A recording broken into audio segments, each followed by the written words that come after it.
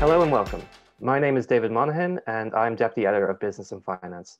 Today I am joined by Seamus Fitzpatrick, Head of the Business Faculty at Griffith College Dublin. Seamus will give us an insight into the blended learning study mode at Griffith College. What does blended learning mean and how does it work? Yeah, um, very good question um, because there's sometimes uh, confusion uh, re blended learning and purely online um, blended learning is a mixture of in-person, um, on-campus or in-class attendance at lectures and remote learning. So it's a combination of some online and in camp on and some on campus. You know your traditional um, uh, classes. Um, so that's that's I suppose a, a definition of blended learning. Um, more specifically, um, what we do is uh, lecturers will prepare um, their lectures, will pre-record their lectures, I should say, um, and those lectures then would be uploaded for students to view and to digest at their own uh, time and their own leisure, particularly more complicated parts uh, where they need to, they can look at it as many times as they want. Um, but that's only one part. Uh, students would also come in during semester uh, a number of Saturdays where they would take um, classes with their peers or with their classmates and the lecturer so they get a chance to ask questions in real time and also build relationships with their um, with their peers. Um, they would also be webinars would be part of the blended learning approach. Um, and there would also be considerable support from their lecturers, you know, throughout the semester, whether that be Zoom meetings or online or um, uh, students actually coming onto campus um, to meet their year head or their program director or whatever. So essentially, I suppose to answer your question, it's a mixture of the online element and the traditional in-person classroom uh, element, and that's how you know that's how we would we would um, deliver the, the, the blended program. When was blended learning introduced um, in the business faculty? Yeah, so it was back in uh, um, I think it was back in 2016. Um, we had, uh, I suppose, I've been with the campus now, or with the with the, the faculty in Griffith College for I suppose nearly 20 years. Um, but over that time, I've and I do a small bit of lecturing myself, and I lecture to part-time students. And over the years, particularly in recent years, we had a lot of students. Um, you know, giving feedback and saying, you know, the commute was taking a lot of their time. Um, sometimes they had to work late and then they'd either be late for their evening lectures or they'd have to miss them altogether. So we got more and more feedback from students, and we also had students who were living, you know, uh, quite far from the college. Uh, our potential applicants or potential students saying to us, you know, um, is there any way that I could do this a different way? I really want to do a degree. And we were anxious to give them access to um, to education essentially um, that they otherwise would not have had access to. So we began thinking about doing or delivering our program via blended approach back then. Um, and initially we, we launched it, I think in 2016, 17, and we'd relatively small numbers, but the numbers have grown quite significantly since then. Um, so much so that we've introduced other programs uh, via blended um, delivery. And uh, it really goes from strength to strength. And I think, you know, the last two years with COVID, more and more people now are comfortable and they're they're used to to the home environment and to engaging in service. Because if you think about it, you know, um, in the past, to access a lot of services, you had to go to the point where the service was being delivered, and whether that was going to uh, you know, uh, an accountant or a solicitor or an architect.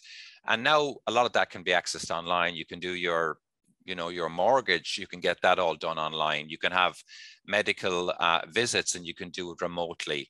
And we kind of said, well, you know, if all of this is possible, why should education be any different? So I suppose we were a bit ahead of the curve in that we were delivering blended before COVID.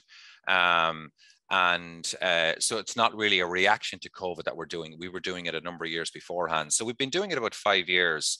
And as I said, the feedback we've got from students, uh, and we've learned lessons. I mean, it was new to us too, um, of how to improve the delivery, how to improve the supports for students.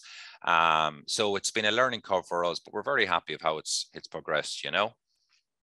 Yeah, no, um, I mean, case in point, we were speaking virtually right now, um, as yeah. opposed to in person.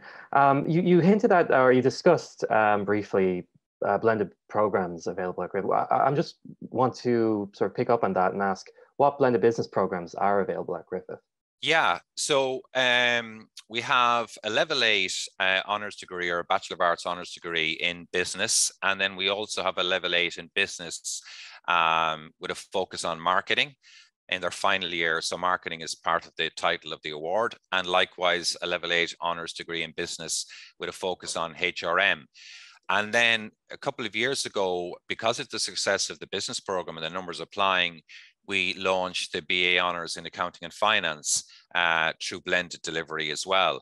So um, business, marketing, HR, and also accounting and finance, they would be the, the programs that we're currently offering and we are hoping to offer more in the coming years. So I guess I'm also wondering, and you may have sort of hinted at this already, but who would benefit from a blended learning business program? Yeah, that's a really, really good question. Um, I suppose, first of all, it's those who may have a considerable commute.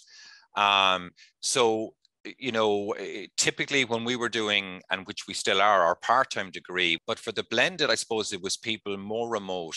Uh, so it might be people in Kildare or Meath. And in fact, we've got students from all over Ireland doing our blended degree right up to Donegal.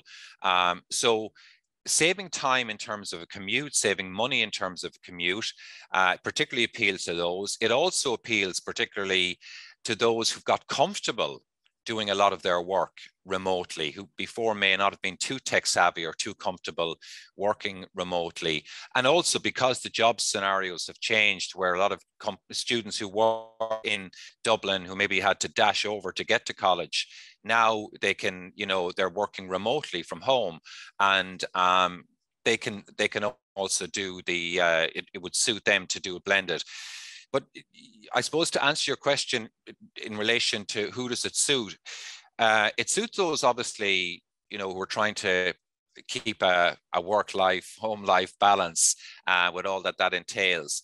But not only that, it, it probably suits people who have a lot of self discipline because while remote working and remote learning is great, it doesn't necessarily suit everybody. And there's a lot of people who like to learn um, you know, in person. Um, and we do have the option for those who can come into classes in the evening and do their part-time degree. But for blended, I suppose people who have a lot of self-discipline, you know, who are going to watch the pre-recorded classes, who are comfortable to work on their own, who are quite independent, um, in addition to those who, you know, uh, may have a long commute or those who've got a very, very busy work schedule and they can't necessarily commit to two or three evenings per week at a fixed time, but they can commit to a course doing it in their own time. Um, so they would be the kind of, um, uh, I suppose, people that we would be um, aiming this program at, you know? And what support is available for um, the people who, who study business via blended learning? Yeah, um, in the, it, I suppose at the moment, um, we have a lot of support. So First of all, there's a designated coordinator of the program. Um, the students would also have a designated year head um, program director and faculty administrator. So all the support we have in terms of people support to our, shall we say, our our, our day-to-day, um, you know, on-campus students, that would also be available to the blended students. We'd also have a very good virtual learning environment. So we would have a system, and it's quite common in, in other colleges, uh, um, called Moodle.